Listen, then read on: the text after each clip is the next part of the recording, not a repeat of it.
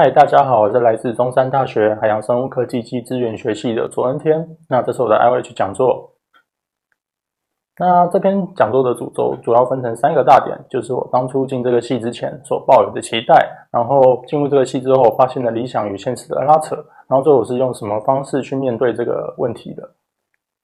好，这是我的目录。那个如果有兴趣想要看特定的部分的话，可以点到特定的时间点来看。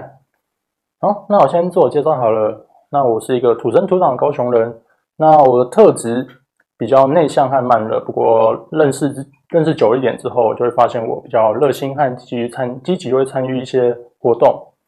那我自己也很喜欢动手操作一些实验啊，或者是做一些手工艺品，像是压花之类的。那我的兴趣的话，可能多到数不完，因为我对很多事情都相当有兴趣，不过有些却很难维持就是了。像亲近自然和观察动物，就是我特别喜欢的一个。那尤其是鱼类和鸟类，都是我最喜欢的。那分享一个点，就是我们中山大学附近的寿山自然国家公园，它就是一个踏青和观察动物的好地方。像左边这只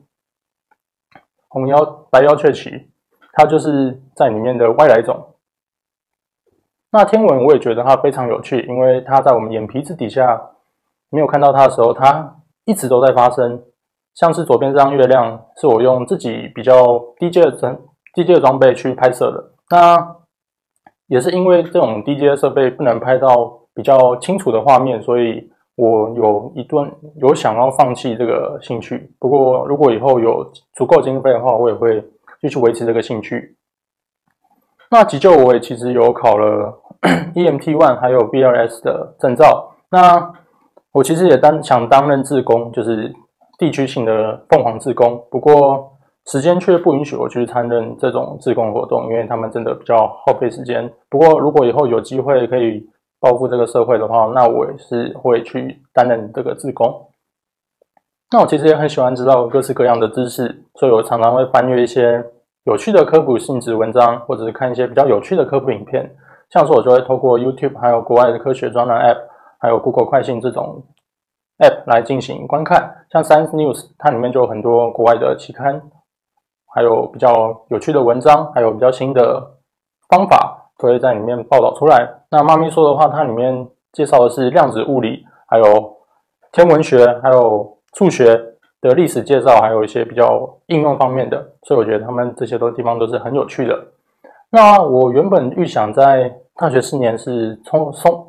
过得比较充实，然后收获也是很多。不过到了最后，就是现在大四了嘛，那我就发现说，这个 这大学四年很像看见了社会的缩影。那我当初进入这个系之前是比较有点富有抱负，就是想要在 做实验的方式，嗯，为这个社会尽一份力。不过现实的话，我进入的是比较做基础研究、比较偏生态的实验室。那与他们与那个，因为与里面的学长姐聊过之后，我就发现说，现实其实没有想象中那么美好。那这就是我发生一个转捩点，就是我发现未来出路和能否透过研究来达成理想，是一个比较让我会不安、不确定所造成的一个恐慌的现象。那我来讲个假设好了，如果你今天想要在实验室工作的话，生物研究助理的你，你会面对比较不友善的现实，像是我们做基础研究的实验室，如果如果政府没有给我们经费的话，其实很难维持做这个研究的动力，而且实验室助理很容易遭受淘汰，因为只要请一个会做实验的人来进行取代，你就很容易被淘汰掉。那所以说，只能靠维兴趣来维持这个工作，来维持你要达成理想的目标。不过，你不要想象，不要想说它可以为你的生活改善，或者是你的理想进行达成的动作。那主要还是因为来自上级不同的价值观，主要就是经济利益和基础研究的考量。他们主要会觉得说，如果有经济利益的话，他们通常都往经济利益方面走，所以基础研究的。经费其实会比较少，不过基础研究的重要性是真的很重要的，而且它对人人类整体福祉都具有直接的相关。那我举个例子好了，就是如果我们的生态遭受破坏的话，它会带来什么样的影响呢？那像农作物，如果它们有蜜蜂授粉，那农作物就不能开花结果，然后让我们有收成的动作，那这样粮食的问题就出现了。那讲到海洋的话，我们会说一下珊瑚礁。珊瑚礁的话，如果没有大法螺对我们的极冠海星进行猎食的话，珊瑚礁所孕育的多样性会破坏。因为大法罗在澳洲，他们当地人是觉得它很好吃，所以他们会大量采猎，所以这样的这样的采猎行为造成这样的环境，就造造成这个生态的崩坏。所以说，维持生态稳定是非常重要的。那我所能做的事，其实很少很少，少到一种无力的感觉。顶多就只能跟身边的人宣扬说，不要用一次性的塑胶啊，或者是购买当季的生鲜啊。像是塑胶会产生，如果排如果流入海洋的话，它会形成塑胶微粒，塑胶微粒会慢慢从实验从低端的食物链层中累积到我们人类，所以也是我们自己在人为，也是我们自己人类在摧毁自己。所以说，如果看这影片的话，不要用一次性塑胶哦。那可是除了实验之外呢？真的没有改善大众认知的方法吗？我觉得是有的，因为如果我们让大家从小就知道生态重要性的话，那知道这个生态会带会如果造成破坏的话，对对对人类造成什么样影响？那或多或少会有一些比较不同的现象产生，像是政府会可能会更支持这个活动或基础研究。那我所做改变就是先让自己适应上社会的需求。还有让自己透过更多的学习，让自己不容易那么被淘，容那么容易被淘汰，这样才有机会在未来为这个领域付出一份力。像现在这个大时代、大数据的时代，就是机器学习、深度学习，还有虚拟实境、扩充式实境，还有区块链的显学。那这个时代，我们活在这个时代，通常都要需要训练更多自己，就让自己学习更多。像是我自己的话，就进行。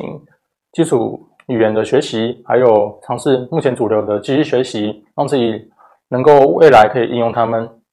那我在不同领域的学习，除了知道不同领域的思考方式，或许也可以让我自己朝自己的理想更进一步。像资讯相关，那我在资讯相关学到的东西，就是他们是用定义来去定义一件事，然后再进再用数学来进行探讨。那医科的话，我有修。我有修我们的系，我们学校的学程，像是应用医学工程学程，那我就知道他们的需求就是从客户端的需求来进行研究，那最终最终目的就是减少就医和诊断时间，就是很简单的供需法则。不过我从他们的研究来看的话，他们真的是非常的符合这个标准。那如果我做结合的话，那我可以定义我的，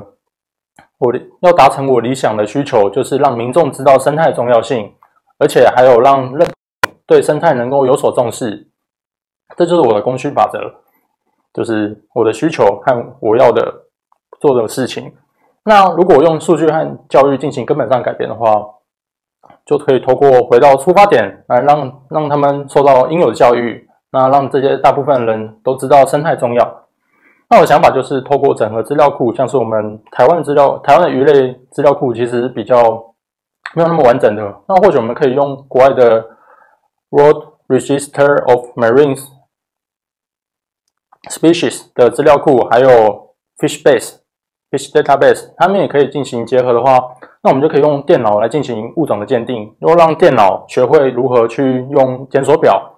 那再传达给不同使用者来进行使用，像是你可以想象成它是宝可梦图鉴，如果你拍了一只鱼，那那只。那个本图鉴，它就会说：“哎，这只鱼有什么样的功能？有什么样的利益？有什么样的经济价值？如果它存在的话，它可以为我们生态贡献出哪些部分？或者是可以给政府说：哎，这个鱼它的体内的成分很有用，就是可以未来可以做一些新型药物。所以就是根据不同玩家给不同的讯息，这就是我想达成的一个理念。不过，所以不过所以说。”这个梦想听起来有点伟大，不过在实践之前还是要审视一下现实，因为现实还是需要不让自己被淘汰嘛，而且还要有经足够经济能力才能去想这种比较理想的事情。那所以说，我就不想要，我想要成为的是不要让自己失望的人。就是如果未来真的选择其他领域，我还是一定要不能忘记说我们生态领域的重要，生物领域的重要。好，那再来介绍一下我们国立中山大学。那我会分两个大部分来进行介绍。那首先是多数人眼中的中山大学，其实跟我自己当初想的是差不多的。因为我当初虽然我是土生土长高雄人啊，不过我却对我们中山大学有点不熟悉，不知道，因为我住那边太离离人离那边比较远，所以我就用自己原有的想法，然后进入学校之后的想法，让进行讲解吧。像我当初看到我们隧道，就觉得它破破烂烂的，很有年代感。不过。最后的想法其实是完截然不同的，而且他也被过去我们的过去的实验室的老师说，他破旧到不想让他自己过来，就他在就学期间会有这样的想法。不过他现在是在我们中山大学服务。那事实上说，我们看到远处的，我们可以在海外可以看到远处的中山大学，就红色建筑在绿色的森林中，其实是相当显眼的。而且在我们校园内也是相当活泼，而且并并有常常会有一些活动可以让我们去参与，像是什么摆摊的市集啊，还有一些活动的表演，这些都可以让我们去参与，所以它相当的活泼。那猴子有够多是大家都应该是大家都知道的事啊，因为做东山这一大梦魇就是猴子太多。不过事实上说，事实上就是只要避免一些事，它就不会来偷袭你，或者是抢你的食物，或者是对你。让你对你做造成一些威胁，所以只要避免，比方不使用塑胶袋，是那个塑胶袋摩擦发出声音，它就不会过来抢你的食物。然后不要露出自己牙齿，就让造成挑衅的动作，这都是蛮重要的。如果你住在宿舍的话，也要记得注意关上你们门、你们的门窗，不然它有时候也会潜入。所以只要避免这些事情，其实猴子也是，我们也是可以跟猴子共共同生存的。那。相当交相当偏僻和交通不便是什么原原因呢？因为当初我就听说中山大学是在山上，然后又靠近海边的学校啊，那它是不是很偏僻呢？对，就这是我的一个 question。那最后我是进入之后会发现说，哎，学校里面怎么那么多工具可以选择呢？像是我们走路不到十分钟就有很多东西可以选择，像是捷运站，还有电动车、脚踏车，还有校内公车，这些都是可以我们可以租用的，而且我们。学校也有一些点可以让我们有共乘的制度，像是机车，如果有申请的话，也可以载别人去上下学。那那么那么偏僻的话，是文化美食的沙漠吗？那其实也不是哦。像美食的话，我们在学校附近的少船街和庙口都可以享用到非常美味的美食，而且都价格都非常便宜。像如果有机车的话，也可以到盐城区附近的新乐街进行享受。那也可以坐我们的捷运从西子湾到盐城盐城埔站，所以都非常方便。然后我自己因为那边的美食吃了有点，在大学感觉有点变胖。那文化的话，其实清朝时期留下来的领事英英国领事馆，它以前是水产养殖所，它也是非常有文化历史价值的。像是隧道啊、汉博也是日本时期日治时期留下来的东西，所以你不要小看我们这个。中山大学，它真的附近周遭都是非常有趣的地方，而且都非常丰富，就文化非常丰富，而且食物也是相当多，所以它不是沙漠哦。那我们的学校的特色和资源是什么呢？我会分成这几个来进行介绍。那我们的夕阳与海其实是真的是每天都可以看到夕阳，你只要有来上课的话，你可以在下课时间就可以看到夕阳。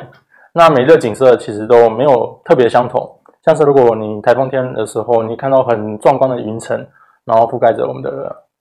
夕阳，这是相当漂亮的。如果你有机会的话，可以把每个每天的夕阳的照片拍下来，然后再进行对比，你会发现真的完全不一样。那资料库和软体齐全，也是我们中山大学的一个重大资源，而且我们的人文、自然科学的文献资料库，还有统计软体啊、城市语言啊、树木管理软体。都是非常齐全的。那我们海之系能够运用哪些资源呢？像是我们我们常常会阅读一些文献，我们就会记录文献嘛，就记录我看过什么文献啊。那如果我要写论文的时候，我要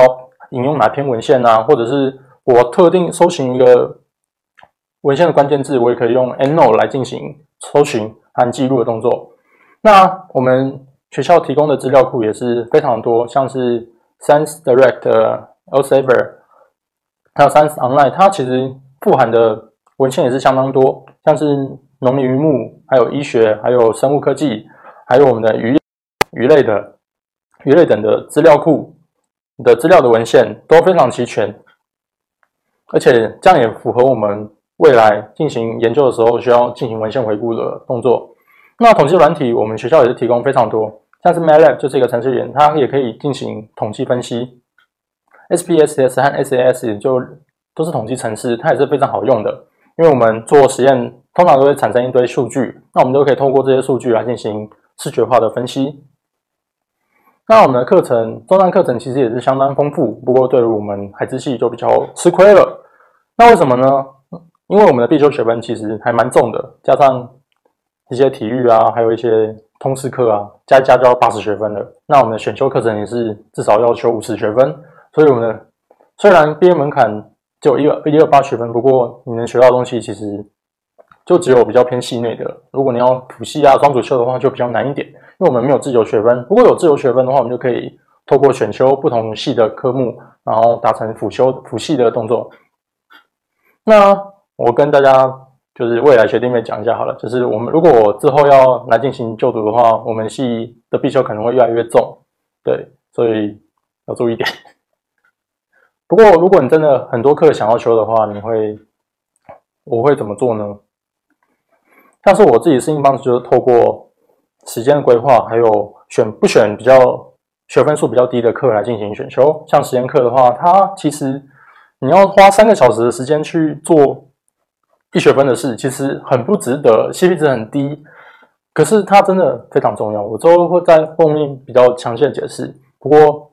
如果你之后有如果想要来海之系的话，其实真的要学实验课，因为实验课真的很重要。你在你在实验室里面真的是不一定会做到在实验课里面学到东西，而且实验课算是打基础，打好基础的话，你对未来的研究其实方其实是效果是更好的。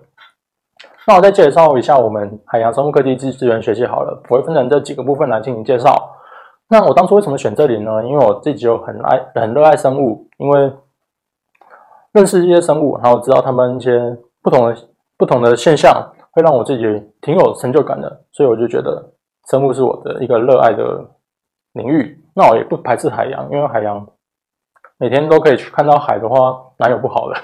那也想看看生物科技在做些什么，因为生物科技其实听起来很厉害，不过它事实上跟我们自己，我们当初在高中的时候距离有点远。那我就想看看这些生物科技在做些什么事情。那我想看看说能否用过用利用实验的方式，然后帮助到社会。那常见迷失，常见对我们海资系的迷失有以下这些。那海资系的资是资讯的资吗？其实不是。那我们海资的资是资源的资。因为生态中的资源也是我们系的核心之一。不过我们系也有在做资讯的老师啊，所以如果你的资讯想要打成字的话，有兴趣的话，也可以找我们的新人老师蔡新人老师。对，那是不是去养鱼的呢？其实也不是哦，因为我们的出路还有很多很多，养鱼只是其中一种。我在后面也会进行比较详细的解释和介绍。那与生科系相同的话，那是不是就一生科科呢？那其实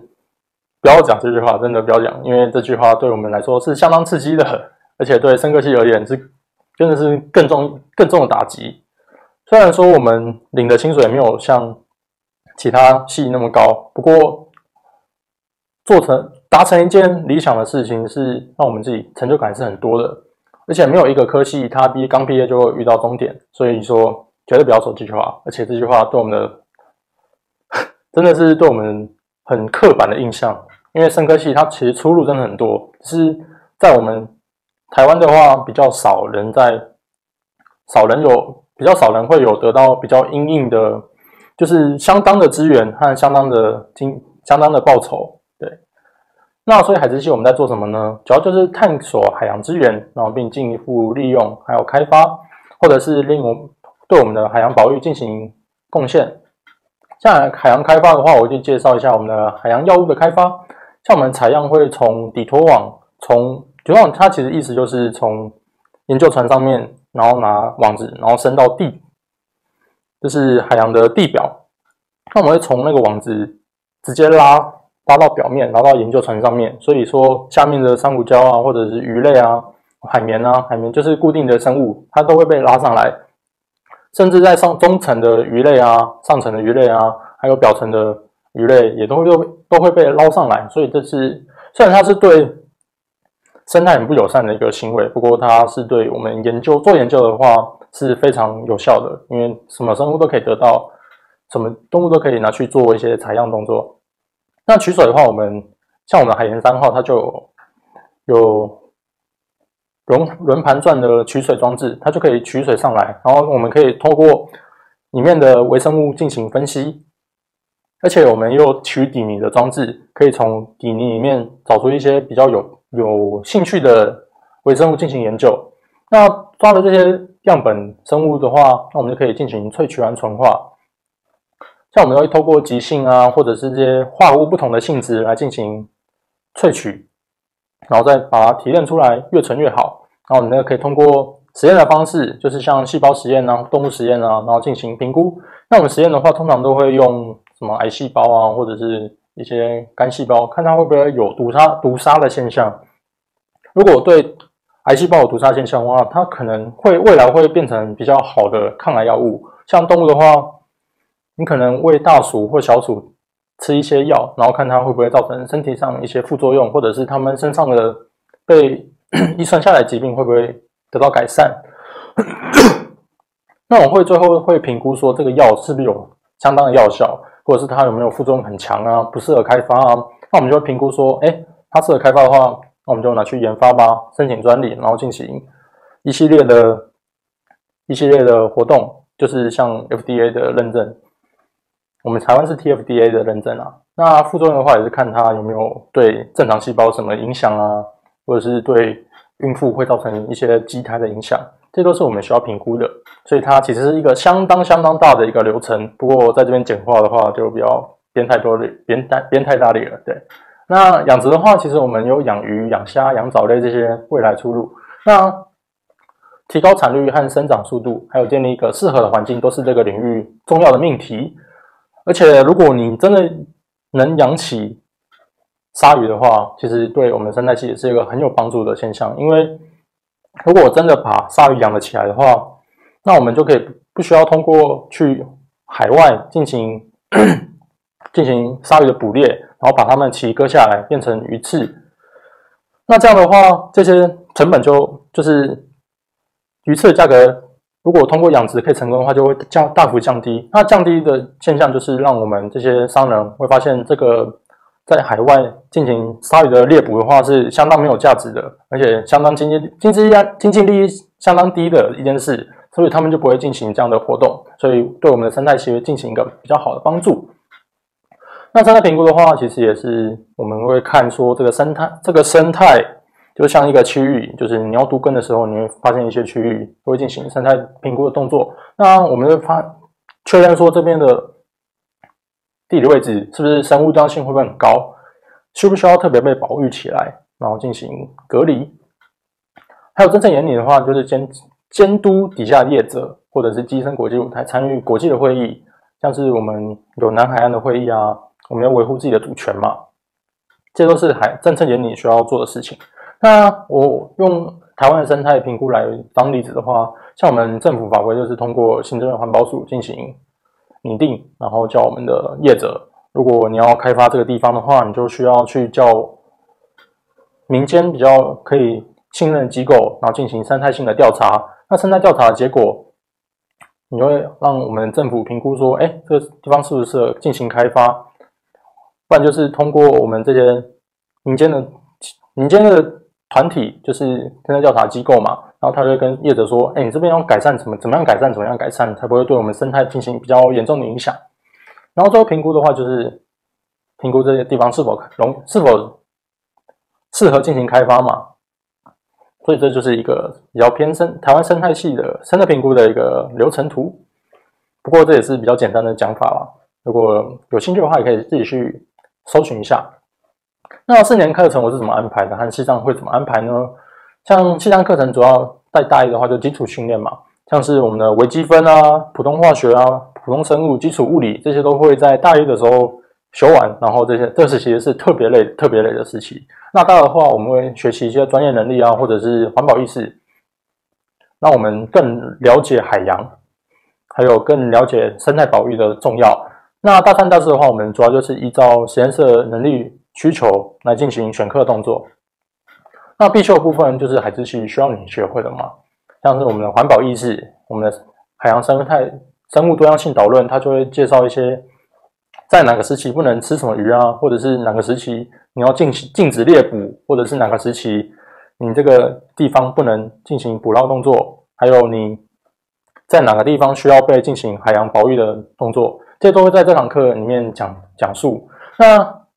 认识海洋的话，有海洋化学和海上实习。海洋化学的话，就可以在我们这堂课中学到一些海洋的基础化学背背景，像是它的温度和盐度是怎么改变的，然后它的温度是不是在哪个深度的时候会特别明显的显著变化，这都在这堂课会学到，然后让我们更了解海洋是什么样的环境，然后进行可以进行哪样的开发。那海上实习的话，就会让我们搭乘海洋三号，然后进行。探索就是我们会进行一些比较有趣的研究，就是就是从我们的流程从头开始跑一遍，然后进行一个研究动作，就是海上实习会学的。那堂课也之后也会变成必修，所以是非常有趣的一堂课。那我阅读文献的话，其实在两个学期我们的必修生生物化学其实也可以当做工具，然后在大四的时候可以应付我们的 seminar，就是书报讨论课程。所以阅读文献也是我们。海之系它必须要学会的一件事。那选修部分的话，我就用实验室的需求来进行选课，来进行介绍。那像是如果你很喜欢生物的话，你就会学一些生物分子生物啊，和生物化学啊，像是我们的遗传学啊、讯息传递路径，都是都是这里这个领域的。而且这个领域也是相当的多，相当多人会选的一个领域。而且它是三类组的核心科目。那生态资源的话，其实主要就是让我们落实。海洋资源的保育，还有观察生态是否健康，这些都可以在生态学可以学到。那生物技术和动物生理的话，其实也可以到动物实验相关的实验室进行实验，像是有大鼠的实验室啊、小鼠的实验室，而且还有一些斑马鱼的实验，都可以在这个领域进行学习。那动物生理学在别的系的动力是动物生理学，就是一个比较好的一个课。好，那海之系现在的主流实验室是什么呢？那根据我目前的观察的话，会觉得说，目前在进行天然物研究的是比较多的。那我在线上看到，大多都是老师都在做海洋天然物，然后再看它有没有潜质，然后进行一些的新药开发。嗯，那天然物是什么呢？它主要就是取用生物体内的二次代谢物来进行研究。那二次代谢物，二次代谢物又是什么呢？你可以想成初级代物代谢物就是生命所需的东西嘛？那二次代谢物你就可以想成它是生物不一定需要的东西。不过他们通常会拿，就是生物他们通常会拿二次代谢物来进行抵御外敌的行为，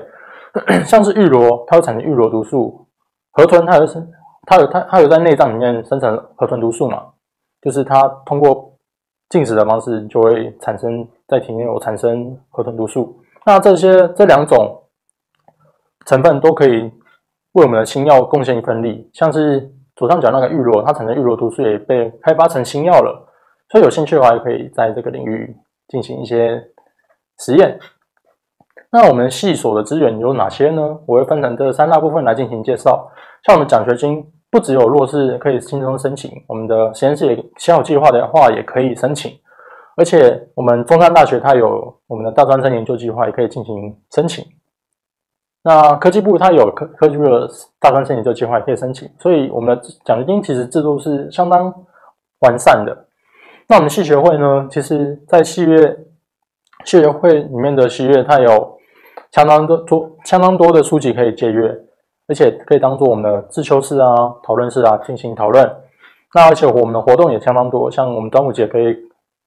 是中秋节可以烤肉，而且我们的圣诞节有交换礼物啊，还有一些烤肉趴。之类，他们都会在定期的时候进行举办。那我们自己当初也有一个海人之夜，会邀请学长姐回来进行分享，然后让我们知道我们需要什么做什么样的努力，然后达成我们要的工作所需的能力需求。那实验室的话，我会分 实验室的话也有很多东西可以让我们做使用嘛。像养殖室，它里面就有大鼠和小鼠，那还有其他地方有斑马鱼可以进行实验。错了，那是动物房。动物房的话有大鼠、小鼠，还有一些斑马鱼。那养殖室的话，通常就是我们的鱼类啊和石斑、石斑之类的鱼类，都养殖在那边，然后进行实验动作。像我们贵重仪器的话，也有一些核磁共振光谱仪啊，还有 HAPLC，那些都是非常好用的贵重仪器，然后都可以让我们进行比较妥善的一个研究。那我之前也有在。实验室待过，而且耗费的耗费的时间也是相当的多。像我之前就待了一个三个实验室，像是生物制药实验室、生态评估实验室，还有动物调的实验室。那我在生物制药实验室主要出出发点就是想要，因为好奇说生物制药到底干嘛，所以我就想要进去看看。那我在里面做了什么呢？主要是做了分子生物学实验啊，还有萃取，还有癌细胞的动物细胞实验，还有天然物的纯化。这都是我在这个实验室里面做的东西。那分子生物学有什么呢？主要就是透过微观的角度去看一个生物的现象。不过主要看来是基因怎么样控制蛋白质。在实验室中的话，我们就看癌细胞通过药物的注入的话，它就是透过投药的话，它会有什么样的影响？它它细胞是什么样表现的？是它会因为我们投的药，然后进行一系列的细胞凋亡或者是崩坏的动作。这都是在分子生物学实验里面学到的，在这个实验室里面会做到的事情。那西方物点法也是这个领域比较重要一件事，就是你可以透过分析蛋白质的表现，然后回推是哪段基因控制了这个现象。你可以想象成说，你暑假回来之后，你要跟同学比一下皮肤嘛，然后看谁比较黑，然后再推测一下说，哎，在谁在这个暑假里面晒比较多太阳，就是这大概就是西方点墨法的一个墨点法的一个介绍了。你可以在前面这张图看到，说左上角那个就是比较正常的一个西方墨点法的表现。如果比较越黑的话，就代表越表现的越好。好，那程序的话，简单来说就是你可以透过大家彼此各个化合物，它们彼此之间的个性都不一样嘛。那想当然，它们各自都有各自的归属。那可以透过它们各的不同样子的性特性和性质，然后进行分析，还有纯化萃取的动作。像是你的油和水，它也可以透过沉积的方式来进行分离。那我没有继续待在这边的原因，就是因为我当当时在暑假的时候担任暑期大专兵，所以没有直接延衔接到我的实验室的专题，而且当时也遇到了实验室的学长姐他们的毕业潮，所以没有人回去学校之后也没有人带我进行实验，所以我最后最后还是离开了。那生态评估实验室又是什么呢？它主要是在做生态评估，然后我是因为责任心，就是在系上表现应该是比较正常，所以然后就被学长姐推荐过去。那我那边做什么？就主要是做一些比较偏分样的动作，像是我们从草间带取样晚回来，然后我们进行分离的动作，就是把生物和垃圾，还有比较偏泥沙类的不要东西，把它分离。像我们。分离出来的生物就会拿去建种，像右下角左下角上，像左下角那张图就是分离出来的生物。那我们计算这些生物量，然后再推推一些数值，就是生物多样性的数值，然后判断这个地方是不是生态的资源相当丰富，需不需要进行保育的动作。那我在这边也体悟到一些一些观念，就是一些观点，就是我在看到从淘底图网收到的样本时，就会发现好多好多垃圾。想看这张左上角的这张图，你也看到很多垃圾在旁边嘛？那我就会感慨说：，哎，我们生态充斥那么多各式各样的垃圾嘛？那为什么还是有人说这是假议题呢？所以我觉得说，可能真的大家都不，有些人就是不会去关心吧。所以我就想说，就是一个比较负面的情绪啊。对，那带给我的想法就是说。但在我们个人介绍的时候有提到，就是想要从根本的去改变人民的思想，然后避免下一代看到海洋就是垃圾会比生物还多，然后没有适合海洋动物可以居住。所以我就觉得这是一个非常非常重要的一个理念。虽然未来我不一定会去做这件事，可是我还是想要做这件事。那这个这个实验室我也是我目前还在待着的实验室，因为我觉得它真的很重要，而且我也可以学会一些建种技巧，然后帮助我之后可以建立一些技术学习上面的模型。它虽然有时候挑生物会挑到不耐烦，不过我想到说挑到一只或许会改变多样性的表现，或许会改变上级的想法，就会有莫名动力去完成这件事。那还有最第最后一个实验室就是动物投药实验室嘛？那我当初就是想要透过尝试一下实动物的实验，才选了一堂专题课，然后进行这样的实验。不过最后有点后悔啦，因为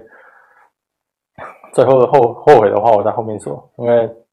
我在里面做了什么，就是透过一些腹腔注射啊、皮下注射，还有食物食管的喂食，喂食大鼠，然后让他们有，反正我们当初专题就是做头。大鼠头盖骨恢复的速度，是不是可以透过一些药物来进行提升？那我就用这些方式来进行喂食，然后看它有没有进行比较好的表现，就是它头盖骨有没有恢复。可是为何为何后悔？就是因为我培养了感情的大鼠，最后是被我牺牲掉了。所以奉劝大家，就是如果没有足够接受度的话，就不要去尝试进行动物的实验。如果你真的想要，如果真的有发生需要牺牲的事的话，你也不要去怨天尤人，你就用心怀感激的心去面对他们，感谢他们为我们的牺，为我们人类进行一份牺牲的动作，而且为我们人类尽一份力，尽一份贡献，因为他们的牺牲就让我们未来可能有新药可以使用。对，那其他给我带给我的是什么呢？主要是软实力，像是我们的逻辑思考和口说表达的能力，在我们书报讨论课程中都会有扎实的训练。那多元视野又是什么呢？我们系所它其实科目相当的广，而且广度真的是达到一个前所未有的地步。因为应该说什么都会学，连法律像是海事，他们海事的法律都会学，像我们海洋法也会学到。如果你有兴趣的话，都可以学。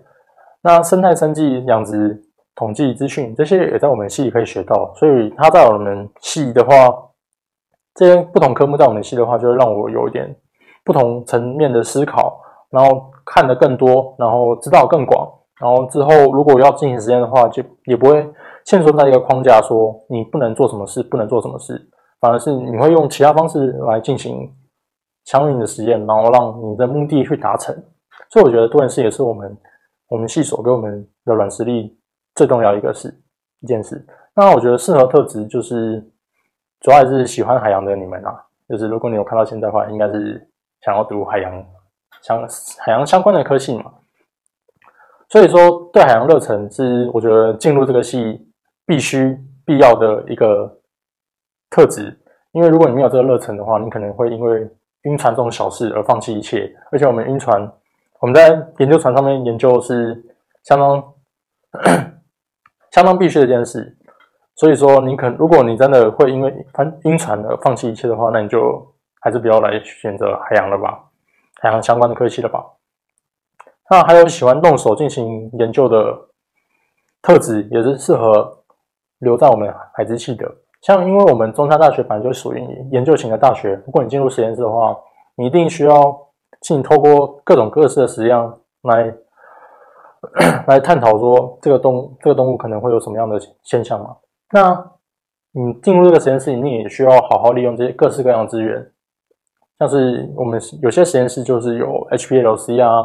有些实验室就是有细胞房可以进行癌细胞的养殖，还有一些可以进行细菌细菌的培养，这都是我们实验室你都需要去看哪些实验室有哪样的测设备，然后再进行选择。然后，如果进入进去的话，进去想要的实验室的话，你要各种利用，对各种利用好各种资源，因为这些资源的话，其实自己一个人是很难得到的，而且这些资源通常都是公费来进行补助、来进行买的、进行采购的。所以说，如果有要进行实验的话，你就尽量嘛，尽量就是维持一个想要发现这个事的心，发现发现一个真实的心。然后去进行探索。那我觉得自我规划能力强也是我们系需要一个特质，因为我们系上多元。不过相比较其他注重专业科系的话，我们的系统性规划是比较弱的，还是得靠自己的探索去自己，反正就是让自己去探索自己想要什么，然后自己爱什么，想要进行什么样的研究。所以这是我觉得是非常重要一点，而且我们自学能力也需要非常强，因为我们西藏课程对我来啊，就是比较像抛砖引引玉，因为它比较没有深入到一个点，让你全头从头到尾都认识这个领域在干什么。不过它确实能提起相当的兴趣。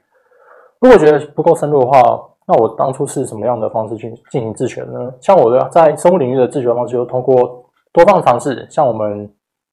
西藏所学啊，或者是科普影片，会得到一些比较想要知道的观点，它是不是对的？那我就找到兴趣了嘛。那我找到兴趣，就会发现说，哎，这个问题是什么？我想要知道它的答案。那发现 有一个问题，你就会想去整合资讯，说，哎，这件事到底是不是对的嘛？那你就会进行文献回顾啊，还有进行。自己动作动手做实验，然后反复验证说，哎，这个结果是真的，然后再纳入自己的脑中，收入自己的怀中，就把自己的这个知识当成是自己的一个资产，就是你有一个专业了，对，就是知道那件事。所以在生物领域的话，我是这样进行学习的。不过说，如果你真的不喜欢探索的话，只想听课，然后就想知道整个整个领域在干什么的话，你也透过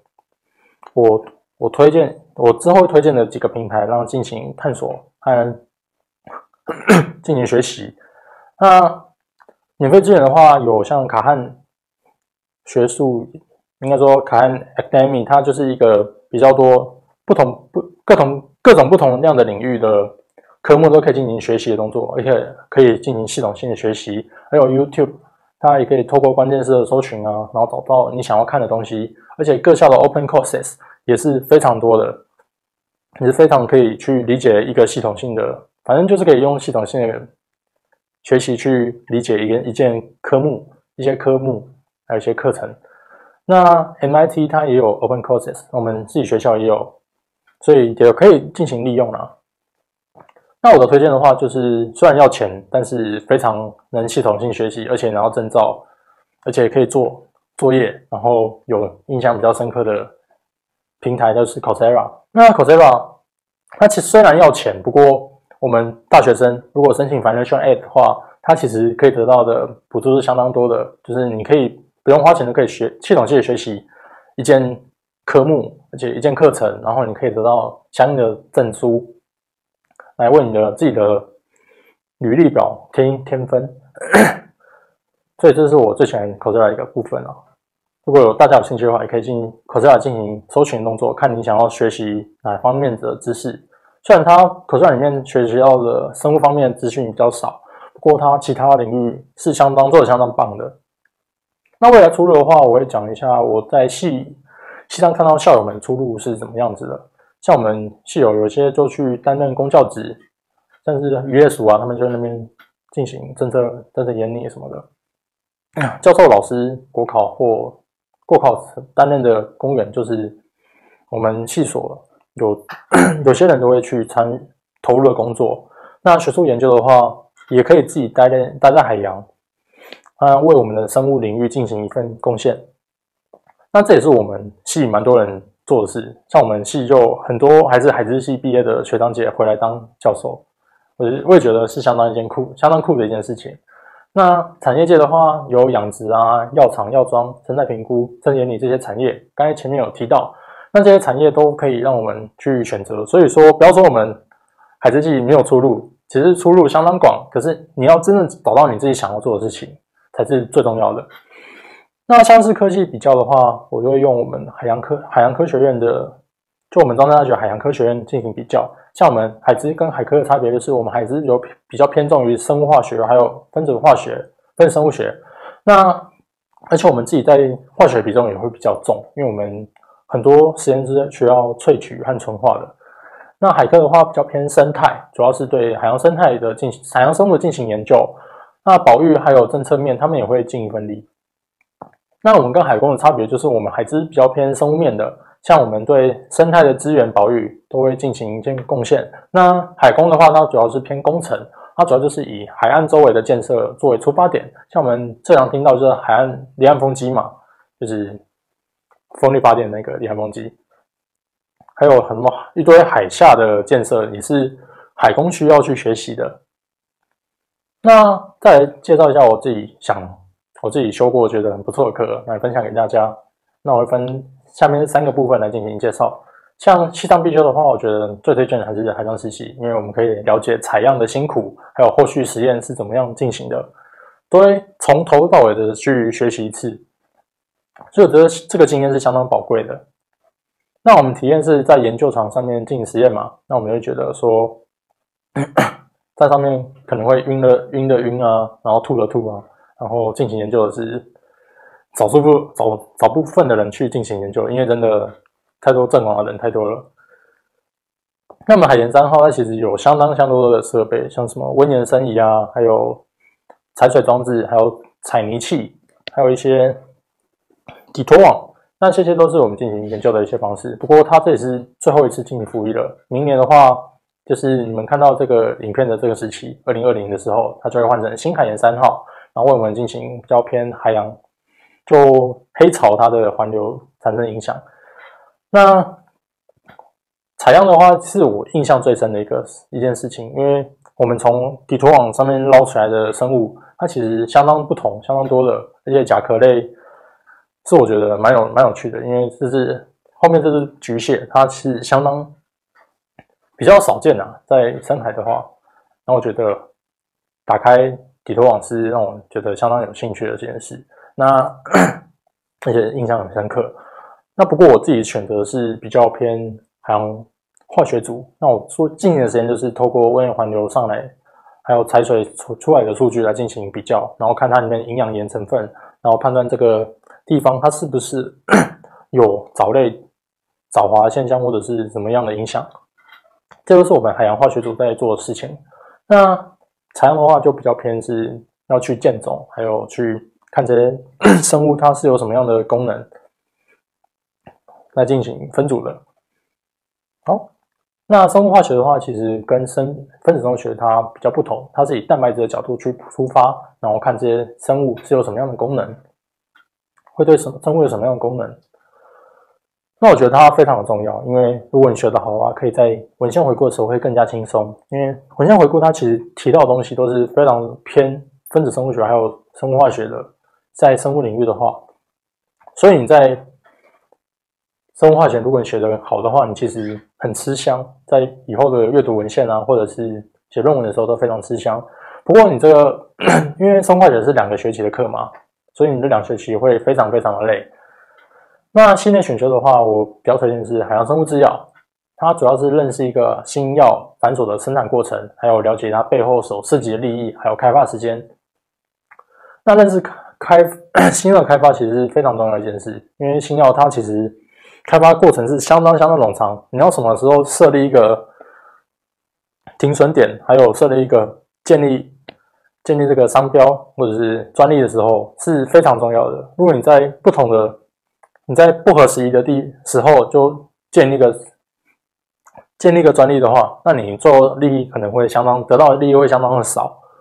所以我觉得认识开新药开发是非常有趣的一件事。那这堂课我觉得印象最深刻也是他课前的回顾。那回顾的话，我会那老师就会问我们说：“哎，你那课你需要东西是什么啊？是什么啊？” 你就会。你就可以举手发问，或者是进行回答。然后上课印象深刻就是这个点，会让我们加深印象。对，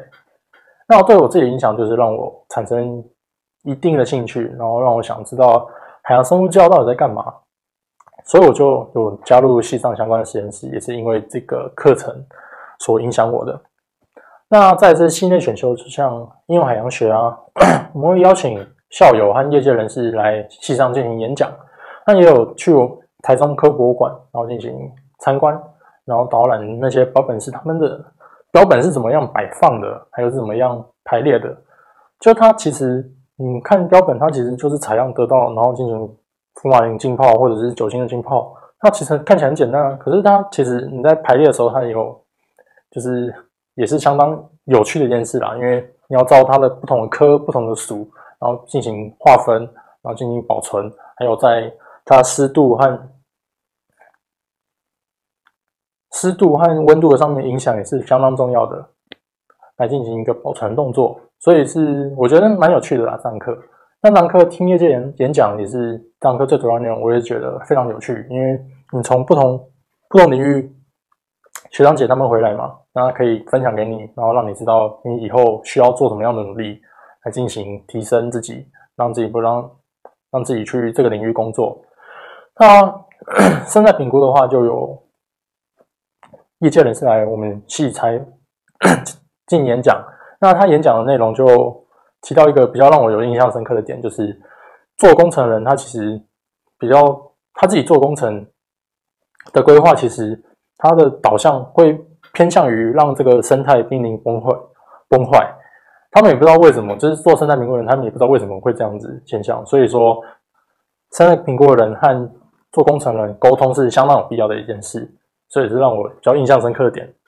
那天南屋的话。又请一个业界人士来进行分析，他就是进行比较偏红曲的介绍，然后他介绍整个整个 萃取的流程，还有开发过流程，然后让我们知道，哎，红曲它里面成分好多好多，而且它里面一些成分也可以进行抗癌啊，或者抗过敏啊、抗发炎之类的现象，这都是他在那堂课介绍的，所以我觉得这堂课真的有必要修，你会知道。你会粗略知道说，在业界需要什么样的人才，什么样能力。那西外的话，我有修一堂跨文化领导力发展与实务这堂课，虽然是通识课，就是大家都不想修的课，不过它是让我比较印象深刻，而且让我出乎意料，因为这堂课让我收获非常多。那主要是让我认识自己嘛，那发现自己的个性，还有沉淀自己，从你出未来自己想做的事，而且让我们认识自己之后，就让我们通过自己不同样的个性。不同样的性质，然后去让我们自己建立一个比较偏领导者的能力。就像我自己比较内向嘛，我就会比较 就会先去跟我们的组员比较联络感情，然后联络感情完就会让我比较热心积极嘛，就前面提到的。然后让我的自己 比较跟他们比较熟之后，我就会进行比较 比较 specific 的一点的分工，然后让他们去做一些事情。然后他们也会满意我自己做的事情，我的划分，所以我觉得认识自己、监视是非常重要的。而且我在这堂课也是学到非常多。而且他这堂课它比较麻烦点是，它有很多的繁满的作业啦。然后虽然到作业很多，可是让你自己可以认更认识自己。虽然这堂课很可惜，就是老师退休之后就应该不会有这样子的课，所以我觉得说，如果有看这影片的话，也可以去。认识一下自己以后想做什么，然后想怎么样的发展。五年后你自己是想要往哪方哪方面走的？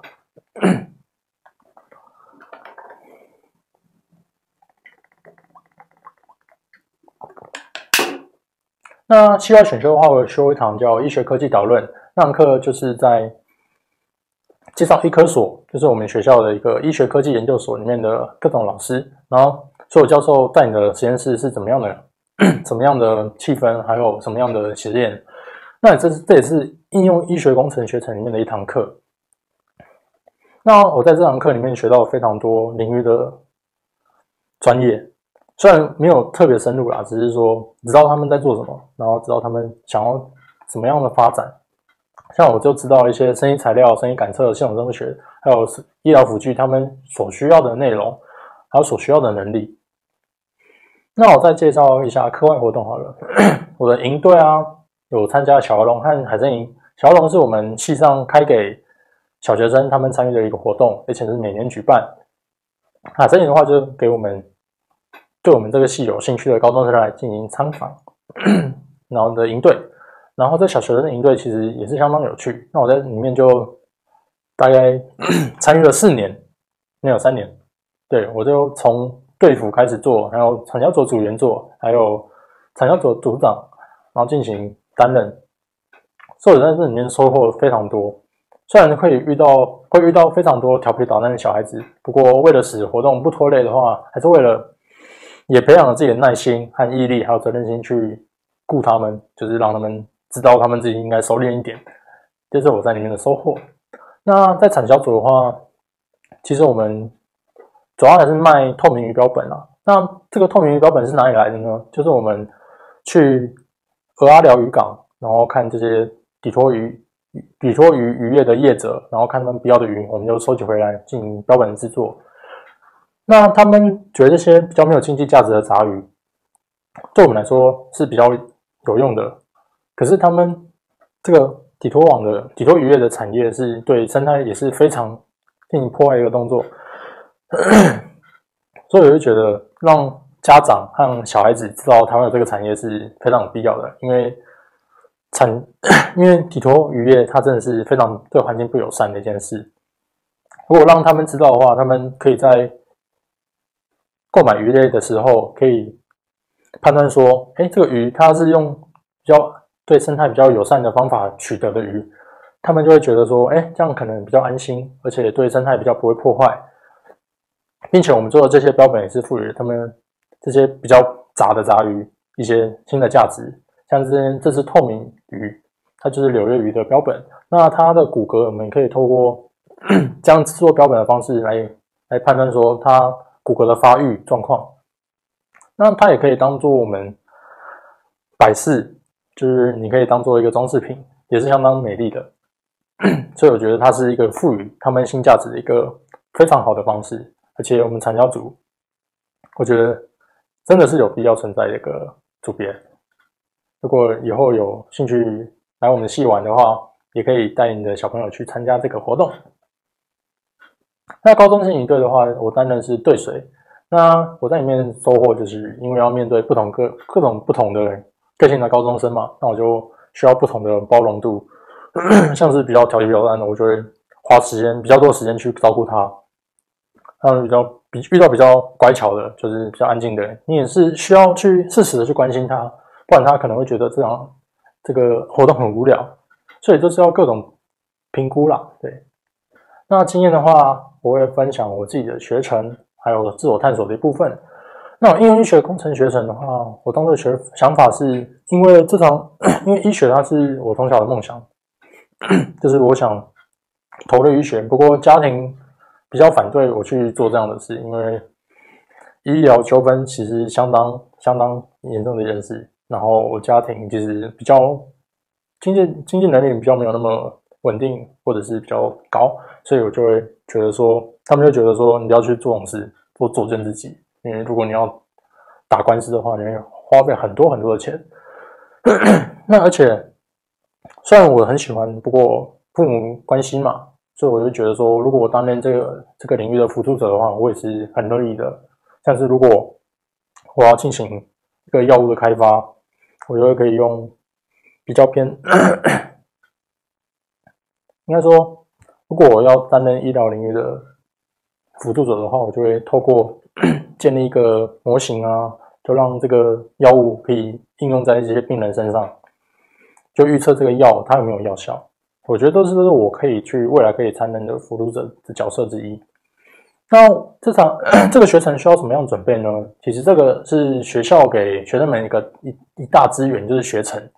那学成只要提交有学程申请书，然后经过师长同意，就等于接到一个任务。那接到这任务的奖励是什么呢？如果你是把这任务做完的话，就是修课修好修满，然后你会得到一个跑跑勋章。它代表什么？就是代表你在毕业证书上面会附注一行字，会说你有修过什么样的学程，有什么样的能力。不过最终还 虽然它在毕业证书上面看起来没有用，不过最主要还是让你自己知道说你自己的吸收什么。得到什么？得到什么收获？可以未来可以什么样的应用？它对我影响就是让我更认识这个领域，然后知道他们的想法是什么，然后也让我看到了像是另一个孩子系的感觉，因为他们学习的东西是相当相当的广。那我自己的想法就是，如果加速医学科技他们这个领域所做的设城市的设计的话，或许他们可以依照药物的需求，然后跟海洋领域做结合，然后判断说哪个物种它。潜潜在能力就潜在富含天然物有药效的能力是比较高的，那就可以透过比较专比较专一的物种的进行采样，不会让这个生态系进行崩坏，所以我觉得是还不错的一个想法啦。那 EMT NBLS 是什么呢？它是紧急医疗救护人员和基本救命术。那为什么要学习这个奇怪东西？主要就是因为。或许有天能弄上，可是我不知道那那那天是什么时候会发生。而且如果你学会的话，你可以帮助自己、家人或者是陌生人，你可以改变他们的一生。那如果假设的话，今天家人 今天家人就在你身边倒下，你会怎么样处置？像我的话，可能没有学过急救后，就可能哎打打电话先报警，然后报警的话还要去通知医疗人员嘛，所以就是浪费很多时间。那如果我学会的话，那如果你又错过这紧紧急的救援时间，如果导致一些比较遗憾的事情发生的话，你会有什么样感受呢？如果自己的话，就是比较比较，当然会比较难受啦，而且 很会一定会后悔，说自己当初怎么没有做这样的努力去想说，哎，我可能会有这样的一天发生。所以说，为什么不先学呢？这就是我自己的想法。就是如果你为了避免后悔的话，你要去进行先去学习。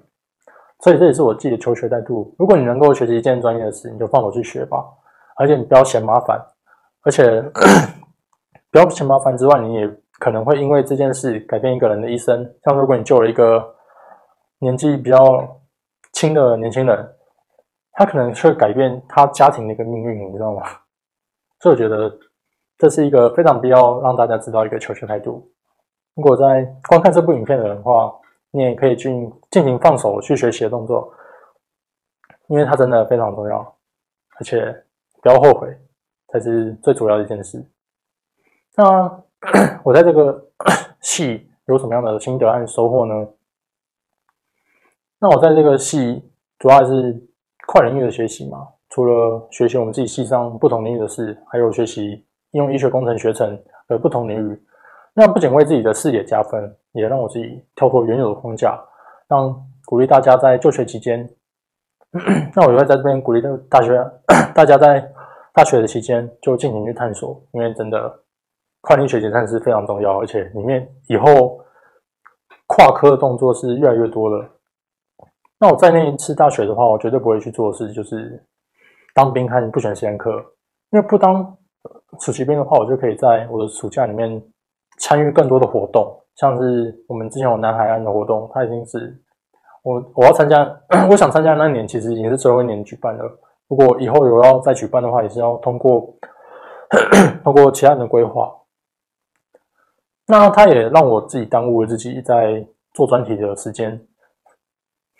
虽然当大专兵，他是非常也算是收获不错的，收获蛮多的一件事。不过，我觉得当兵这件事也是可以放在比较后面再讲，因为 大学期间就是要求学嘛，然后你要进行各种各种各种不同的学习，然后让自己知道自己想要做什么事。所以我觉得当暑期兵，尤其是。是真的比较考虑大家去做一件事，那不会为了学分而不选择实验课，也是我想推荐、想提醒你们的。因为有些实验课在进行的实验，其实在教指导教授里面的 实验室是做不到的。像我就后悔，就是有点后悔，就是说我自己还没有做过 PCR。那我四年最大的收获是什么呢？我就大致的了解了自己未来想要投入的业界的状况。还有知道自己想要做什么事，然后也学会了自己独立思考，还有自我规划、解决问题的能力。不过最终还是自己知道自己什么想要做什么事是最重要的。然后推荐想要跟大家讲的是，就是你们如果来大学就读的话，一定要发现，你一定要去尽情的探索自己自己自己想要什么，真的非常重要。我刚才从现在 从刚才到现在，已经不知道讲几遍了，所以真的去探索自己吧。那我想跟高三 高三的自己说的是感谢，因为感谢自己来就读海之基，让自己看得更广，然后自己也没有像以往那么迷茫，也感谢父母的全力支持，让我去选择这样的科系，然后进行就读。那我想跟五年后的自己说，跟自己比较就好了，活得开心比比较，我想跟自己说，就是比较活得开心，不要一昧的看看清自己。然后总拿他人跟自己进行比较的话，产生多余焦虑感是完全没有必要的事情。你要相信自己，在未来或者是现在已经成为别人的榜样了。所以说，跟自己比就好了。这个想跟自己错的事情。那我也是 要讲，就是蓝鲸跟一门林经理给我们一句话，就是人生定位及努力一样重要。大家分享给我们一一句话，我觉得蛮有意义的。你们。去探索吧，探索自己的人生定位，还有去探索自己需要做什么样的努力。然后这边是我的图片来源，我有应用到图片资料，你可以都可以在这些网站上面进行搜寻。然后有些图片是分别人分享给我的，或者是 显示他们所提供的照片，这都可以让你们做参考。那谢谢大家，这是我 I H 讲座，谢谢大家。